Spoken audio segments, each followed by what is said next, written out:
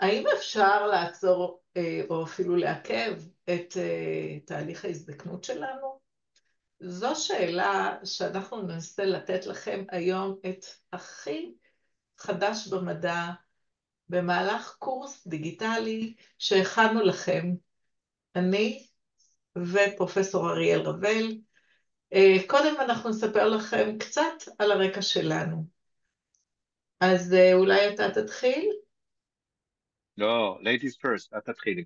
אוקיי, בסדר גמור. אז שמי דורית גרינברג, אני ביולוגית במקצוע, ועסקתי uh, כבר משנת 1998 בחקר של טכנולוגיות רפואיות שהן מהוות או חלופה לתרופות או חלופה לפרוצדורות פולשניות, כדי להפוך אותן לפחות פולשני. על הרקע הזה, אגב, אה, ככה הכרנו.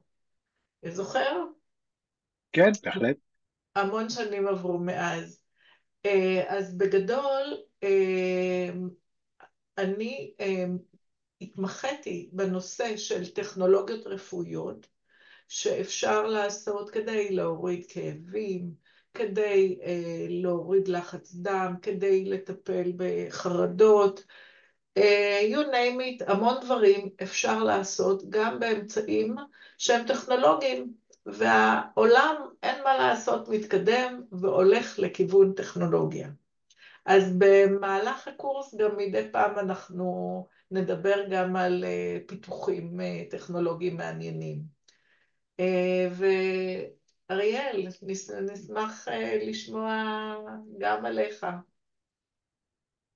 אז אה, ראשית, תודה על ההזמנה, דורית. אה, אני חושב שיש לנו בהחלט אה, רקורד די מוצלח של להכניס נושאים חדשים לשוק. אנחנו הכנסנו טכנולוגיה לעזור לנשים באמצעים זעיר פולשניים, איך למנוע הריונות בעתיד, בהצלחה מרובה, צריך להגיד.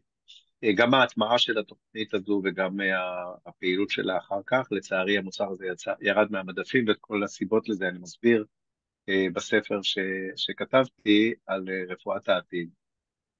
את הספר כתבתי אה, על מנת באמת לנסות להעביר לאנשים בציבור הרחב את הטכנולוגיות שישפיעו על הבריאות שלנו ועל האריכות ימים שלנו.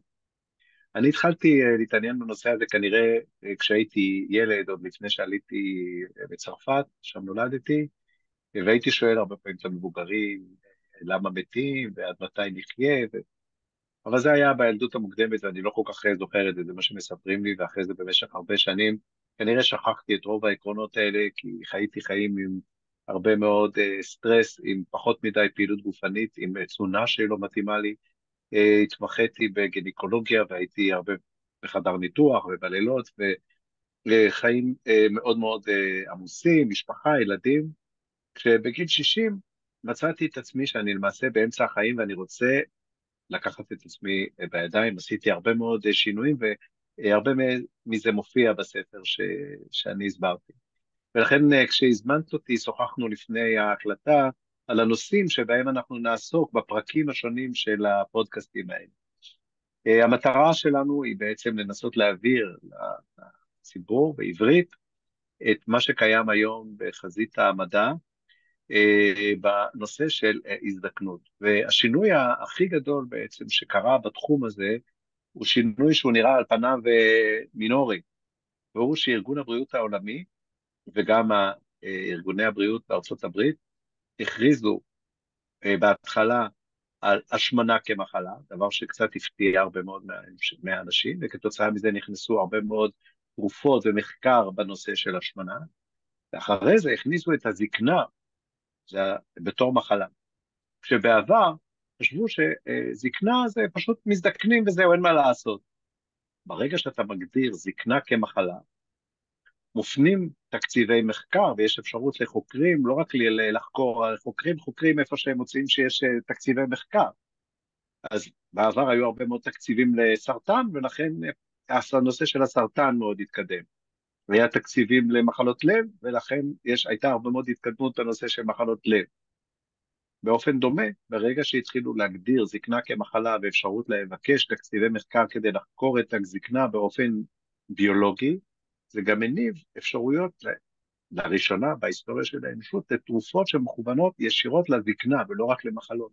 כלומר, אנשים בריאים יותר ויותר לומדים על הזקנה ומה הם יכולים לעשות, ועל כל זה אנחנו נדבר. זאת אומרת, אה, הפודקאסטים האלה מבחינתי כרופא, גם יהיה להם בסיס אה, ביולוגי חזק, אבל גם יהיו הרבה מאוד תובנות, ובזה אני חושב שאת יכולה מאוד uh, לעזור כדי שנחשוב ביחד מה מתאים ומה אפשר להביא, איזה מוצרים כדי לעזור לאנשים. אני מגדיר היום את עצמי כטרנס-הומניסט. Uh, טרנס-הומניזם הוא תחום של רפואה שרואה בעצם בשילוב של טכנולוגיות בתוך הגוף שלנו חלק מהאדם של העתיד, ועל ידי זה לאפשרות להעריך את התוחלת בריאות שלנו. ואני משתמש במושג הזה קודם כל כדי להסביר שיש פרדוקס מסוים בין מה שאנחנו רוצים לבין מה שאנחנו משיגים.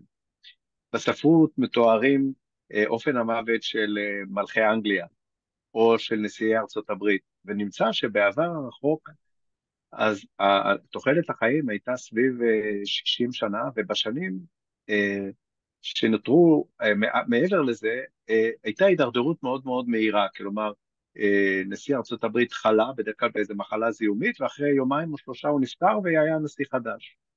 היום אנשים מגיעים לגילאים יותר מבוגרים, אבל המון המון שנים ישנה הידרדרות גופנית, קוגניטיבית, סביבתית, שלא בטוח שזה מה שאנחנו רוצים. אנחנו היינו רוצים לטפח את הנושא של ה-health span, כלומר טווח החיים הבריאים. ואם אנשים מגיעים לגיל 90 או לגיל 100 בבריאות טובה, אז בדיוק. אה, זה מה שאנחנו רוצים בעצם אה, להשיג, ולהעריך את, אה, את החיים הבריאים, את תוחלת החיים הבריאה. אמ, ובטרנס-הומניזם אנחנו בעצם מנסים להכניס טכנולוגיות מגוונות לכל מיני תחומים שקשורים להזדקנות. אז בקורס אנחנו נעסוק גם בתיאוריות של ההזדקנות, נמנה חמש תיאוריות כאלה. אנחנו נדבר על טלומרים, נדבר על מנגנון של הזדקנות של תאים, נדבר על נושא של עקה אה, חמצונית ונוגדי חמצון, נדבר על כל הנושא של מערכת החיסון והמצב הדלקתי, איך להפחית דלקת. אנחנו נדבר על תזונה, על הגבלה קלורית וצום לסירוגין, אה, כל אלה קשורים לעיכוב של תהליכי אה, הזדקנות. אנחנו נדבר על כושר גופני ותרגילי כוח, איך לשמור על מסת השריר שלנו. בהורמונים מה שהחלטנו לעשות זה לעשות פרק אחד לגברים ופרק אחד לנשים, שכמובן מבחינה הורמונלית יש הבדלים, וככה כל אחד יכול להתמקד במגדר שלו. אנחנו נדבר הרבה על אפי-גנטיקה וכמה שהיא חשובה, זה אחד התחומים הכי חזקים והכי חמים. נדבר על ההשפעות של מדיטציה ומיינדפולנס והורדת סטרס. אנחנו נדבר על תאי גזע, תחום שבקדימה סטם אנחנו עוסקים בו בנושא של ריפוי מחלות, אבל בעתיד אני בטוח שתאי גזע, כמו שאני מסביר באריכות בספר שלי, יהיו הבסיס אה, להרבה מאוד התערבויות, האם כן או לא לעשות הדרקות של תאי זרע. אנחנו נדבר על כל הנושא של האנרגיה שלנו בזקנה, אה, מיטוכונדריה, מים בכלל, ואיך אנחנו אה, מטפלים בהם. אנחנו נדבר על מוח, על ההזדקנות של המוח, איך אנחנו יכולים להגן ולשפר את איכות המוח שלנו. נקדיש פרק אחד, אולי יותר, לנושא של שינה, נדבר על ההורמונים שקשורים לשינה, נוירומודולטיות כמו מלטונין ואורקסין, הקשר בין מערכת החיסון לשינה וכל נושא של אה, CBT, של שינה, שהוא אחד מהדברים, ה, אני חושב, שהכי השפיעו על, אצלי על שינוי של אורח החיים. ונדבר על תרופות אה, בריאות, אה, smart drugs, תרופות אנטי-אייג'ינג, נדבר על התפקידים של תרופות אה, מוכרות יותר כמו רסוורטרול ומטפורמין ותמצית רימונים ודברים נוספים. ואחרי זה אנחנו נתחיל להיכנס לנושאים יותר חברתיים על על הנושא של אה, פסיכולוגיה וקהילה וההשפעה שלהם, ולקראת הסוף אני חושב שאנחנו נסיים בנושאים פילוסופיים של הרחבת תודעה ומה זה בעצם, איך תראה החברה שלנו בעתיד, כשאנחנו נגיע להרצפן של 100 שנים ויותר, איך זה ישפיע חברתית. אז אני חושב שיהיה לנו אה, מרתק במפגשים הבאים. מה דעתך, דורית? בקיצור, גם אני חושבת שיהיה מרתק. אני חושבת שזו הזדמנות פז אה, ללמוד אה, באמת, מה הכי חדש אה, אה, במדע, ואנחנו נזקק לכם את זה בצורה שתוכלו לקחת טיפים גם באיך להתנהג, איך מה זה באמת אורח חיים בריא, שהוא מותאם ספציפית אליכם, לא באופן כללי, וגם תכירו טכנולוגיות שאתם יכולים להשתמש בהן ביום-יום בבית, כדי לשפר את איכות החיים שלכם, ולהזדקן בכיף, ולהזדקן ביפה, וליהנות מהחיים עד הדקה האחרונה, כמה שאפשר. אז, אז נושא נוסף שבאמת אה, דיברנו עליו, שאני חושב שהוא מתאים אה, לדבר במבוא, זה על ההבדל בין הגיל הכרונולוגי שלנו לגיל, לגיל הביולוגי שלנו. הגיל הכרונולוגי זה מספר ימי ההולדת שהיה לנו עד עכשיו. אבל אנחנו כולנו מכירים שיש אנשים שבגיל אה, אה, 50 למשל, ביולוגית, הם יותר, אולי הם 58. ויש אנשים שבגיל 60 הם כרונולוגית, אבל ביולוגית הם הרבה פחות, יכול להיות שהם בגיל 48 ביולוגית. היום יש דרכים לבדוק את המדדים של uh, הגיל הביולוגי. אנחנו ניגע בזה מעט כי זה נושא שהוא די שנוי במחלוקת, אבל אין ספק שאנחנו יכולים לעבוד במרווח הזה שבין הגיל הכרונולוגי, איך אנחנו יכולים באותו גיל להיות צעירים יותר. כל אחד מאיתנו צעיר יותר לעומת הגיל של עצמו. יאללה. אני כבר משתוקקת להתחיל אה, להקליט את, ה... את הפרקים. אז שיהיה לנו בהצלחה, תודה רבה בינתיים. אז שיהיה בהצלחה, ואתם מוזמנים להקשיב ולרשום לנו גם איזה נושאים אתם רוצים uh, לדעת, אולי על דברים שלא חשבנו עליהם. אז נתראה בקורס. ביי.